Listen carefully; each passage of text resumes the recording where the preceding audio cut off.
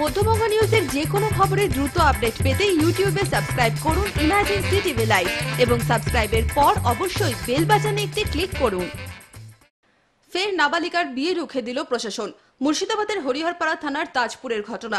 Block প্রশাসন এবং কন্যাশ্রী যোদ্ধারা নাবালিকার বিয়ের খবর পেয়ে হাজির হয় নাবালিকার বাড়িতে। জানা যায়, দশম শ্রেণির ছাত্রী মাকসুদা খাতুনের বিয়ের তোড়জোড় শুরু হয়েছিল। আগামী বাইশ তারিখ ছিল বিয়ের দিন। পাশেরই গ্রাম লালনগরে বিয়ে ঠিক হয় লালচাঁদ শেখ নামে এক যুবকের সাথে। প্রশাসনিক কর্মকর্তা, সিনি সদস্য এবং কন্যাশ্রী যোদ্ধারা নাবালিকা এবং তার পরিবারের লোকজনকে নাবালিকা মেয়ের বিয়ে দিলে কি অসুবিধা হবে তা বুঝিয়ে বলেন। অবশেষে আঠেরো বছরের আগে মেয়ের বিয়ে না দেওয়ার সিদ্ধান্ত নেয় নাবালিকার পরিবার। এখন বিয়ে নয় পড়াশোনা করতে চায় মেয়েটি।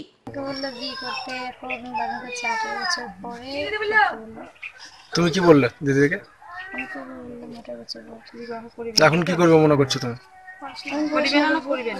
কন্যাশ্রী যোদ্ধারা এভাবেই নাবালিকাদের বিয়ে রুখে দেবে। এই অভিযানে তারা সামিল হতে পেরে খুশি।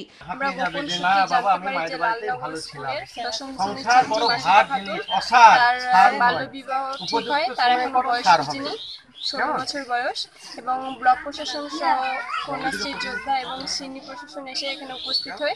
মেয়েকে বোঝায় ছেলের বয়সও এখনও পুজিনি ছেলের বয়স উনিশ বছর। আমরা এরপরে সেখানে যাব এবং ছেলেকেও বোঝাবো। মেয়েকে অনেক বোঝানোর পর মেয়ে রাজি হয় এবং বলে যে আঠেরো বছর পরে আমি বিয়ে করব আর এখন আমি পড়াশোনা করব আর আমাদের সঙ্গে সে কাজ করবে। প্রশাসনিক কর্মকর্তারাও সচেতনতা বৃদ্ধিতে কাজ করে চলেছেন। মেয়ে অঙ্গীকার করল যে আঠারো বছরের আগে বিয়ে আমি করব না। আমি নিজের ভুল নিজে বুঝতে পেরেছে যে না, সে ভুল পথে পরিচালিত হচ্ছিল। আমাদের কন্যাশ্রী যোদ্ধা সিনিয়র দিদিমণি জাকিরন বিবি আছেন। ওনারা ভালোভাবে ওনাকে বোঝালেন। বোঝানোর পরে নিজের ভুল বুঝতে পারলেন। এখন উনি বলেছেন যে আমি আঠারো বছর আগে বিয়ে করব না, এখন আমি পড়াশোনা করব।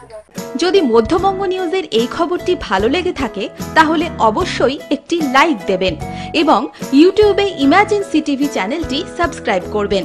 আর যে কোনো খবরের দ্রুত আপডেট পেতে সাবস্ক্রাইব করার পর বেল বাটনে একটি ক্লিক দেবেন।